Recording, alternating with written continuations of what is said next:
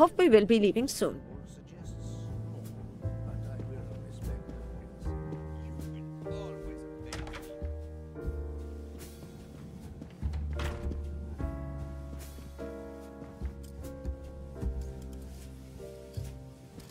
I should go and interview the passengers in the restaurant car.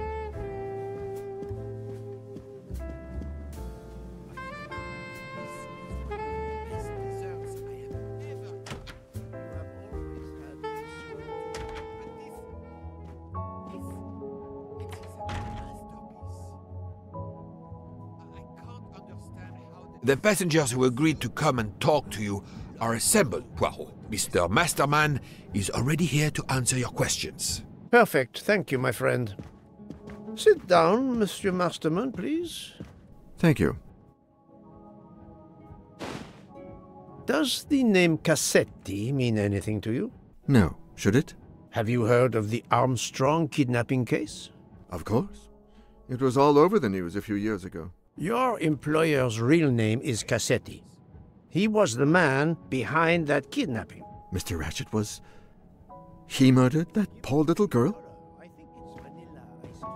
Mr. MacQueen, the man you worked for is a kidnapper named Cassetti. What? What kidnapping? He murdered his victim, a child named Daisy Armstrong. The Armstrong kidnapping? You had no idea of Monsieur Ratchet's real name? Damn skunk! Why are you so upset? My father was the district attorney who handled the case, Mr. Poirot. I saw Mrs. Armstrong more than once. She was a lovely woman, so gentle and heartbroken. If ever a man deserved what he got, Ratchet, or Cassetti, is the man. He didn't deserve to live. Madame Ohlsson, have you heard of the Daisy Armstrong case? No, I've never heard of it. It was only two years ago. It was famous. Maybe so, but it was not famous in Spain, where I have been helping the refugees from Africa. You've never heard the name Daisy Armstrong? No, never. Daisy Armstrong? No. No. No! No! Yes. It was all over the English tabloids before I went to Jordan. A horrific crime that claimed the lives of an entire family and their wrongfully accused nanny. That's right, isn't it? Quite so.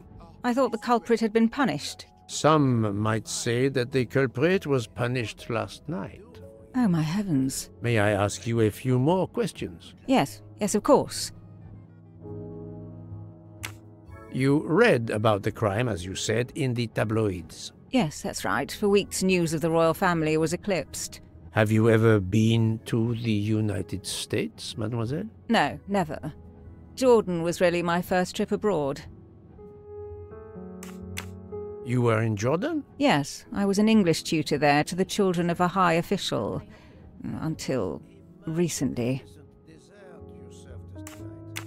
What is your relationship to Captain Arbuthnot?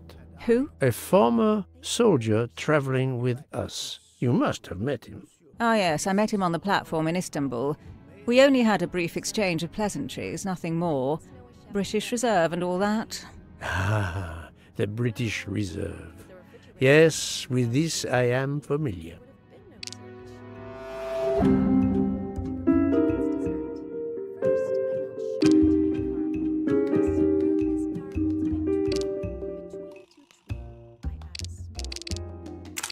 Are you sure everything you have told me is accurate, Mademoiselle Debenham? Of course.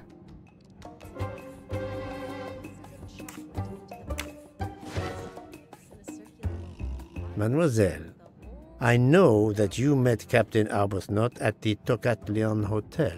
You were spying on me.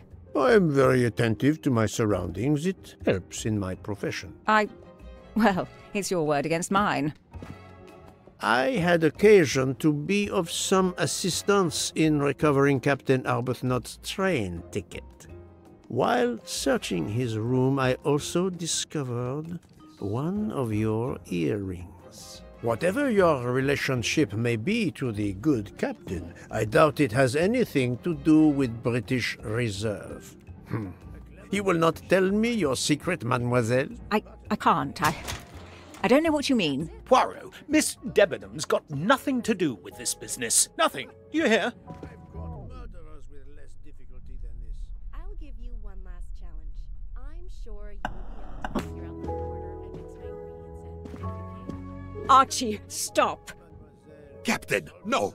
This behavior is unworthy of an officer and a gentleman. Leave her alone!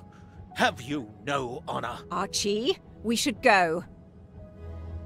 Captain Arbuthnot, I am certain you are a brave soldier, but you are a poor actor. The truth is that your relationship with Miss Debenham is beyond doubt, Captain. Your reaction was apparently that of a man trying to protect the woman he loves. I might understand that if your relationship were some cleverly disguised secret, but it is not. You make puppy dog eyes at one another at every opportunity. You cannot hide your love. Everybody knows. I advise you to stop with your accusations, Mr. Poirot. I'm going to escort Miss Debenham back to her compartment. Make of that what you will. The captain and Mademoiselle Debenham are obviously adamant about not revealing their relationship, but this scene convinced me there is more that is not so obvious. This murder has everyone on edge. In my 25 year career, I have never seen such madness aboard the Orient Express. I understand, my friend. The more we learn, the more perplexing this train ride becomes. But we have other clues to pursue. What do you have in mind? The broken watch on Monsieur Ratchet's wrist, for example. And the handkerchief found near the body. Who does that belong to? This little drama we have just witnessed has not put you off the scent. Far from it, my friend. Will you return to your watch over Mademoiselle Locke? Yes, I will.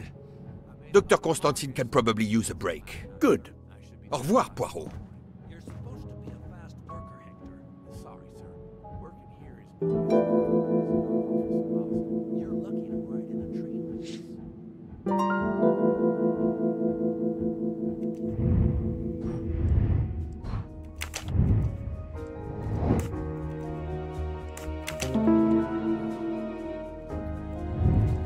That was easy.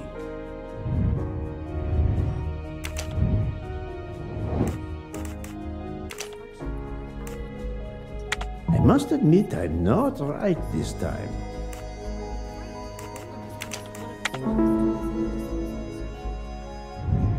That was easy.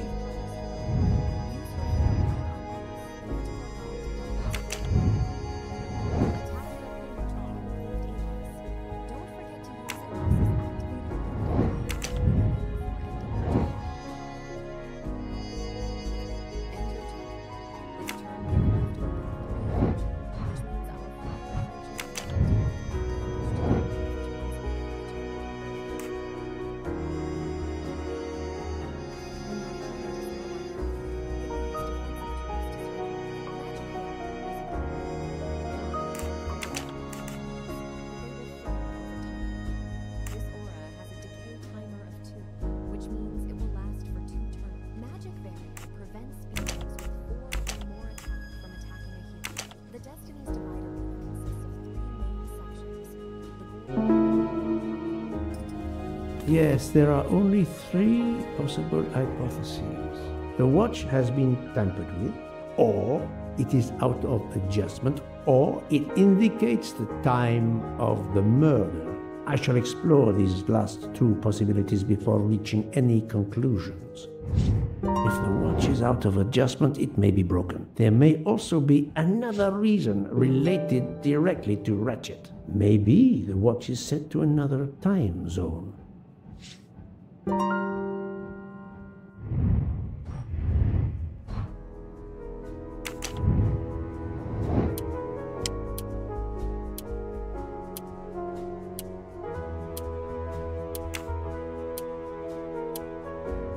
watch was not defective because the second hand is still moving. My little gray cells did not let me down.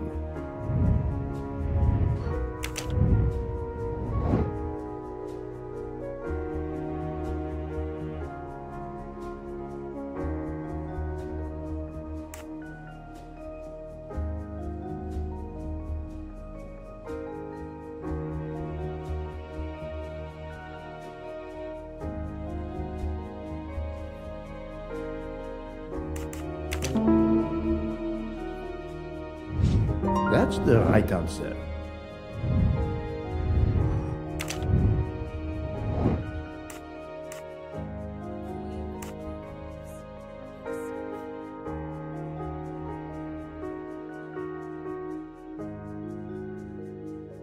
Great.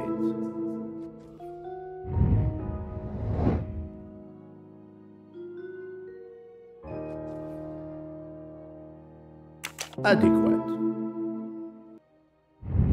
If this theory is correct, then the murder took place at 12:15 a.m. I must interrogate all the passengers to see if any of them have an alibi for this hour.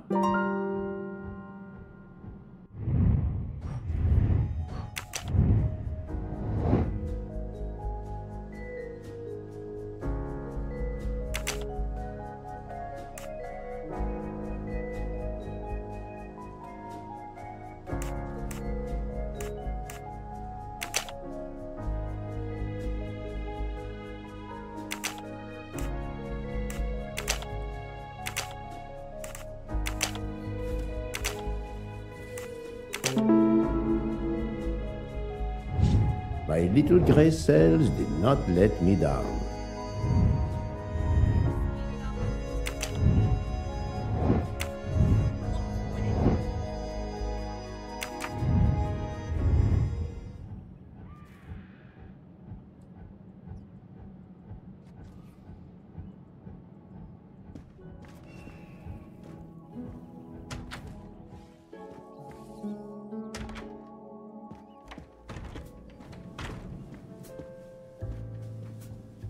Monsieur Foscarelli, I would like to ask you a few questions if you allow me.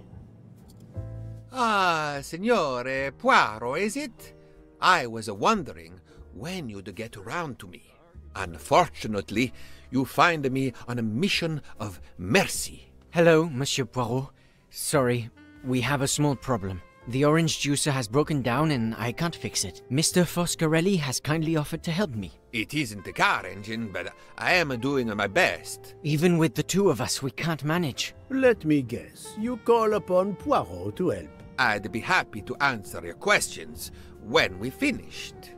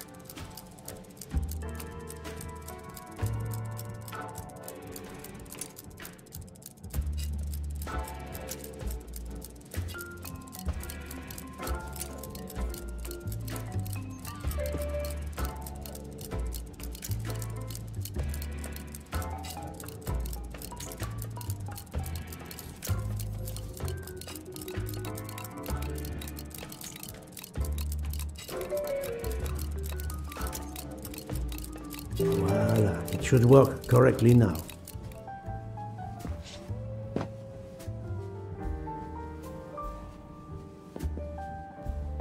Bravo! I should stick to automobiles. Well, now we can talk calmly. Monsieur Foscarelli, is it? Antonio Foscarelli, delighted, Monsieur Poirot. You have, of course, heard about Ratchet's murder last night. Oh, naturally. It is all anyone is talking about. Have you ever been to the United States? Yes, it has been a primary market for our cars for the last ten years. You remember the Armstrong case? Armstrong? The name, yes? It was a little girl. A baby, was it not? Yes, a very tragic affair. Did you know that Cassetti, the kidnapper, was actually Ratchet? Oh, no. Then he deserved to die. I mean, wouldn't you agree? Can you tell me your movements on the night of the murder? I went to bed right after dinner, but I slept very badly. My roommate, uh, Mr. Masterman, had a toothache. Oh, he moaned all night. It woke me up several times. Did you hear anything or notice anything unusual? No, nothing that I can think of. I stayed in my bed all night. Well, thank you, Mr. Foscarelli. I'm sorry I couldn't help more, Signore. I remain at your disposal if you should need me. Thank you so much, Monsieur Poirot. I can put orange juice back on the menu.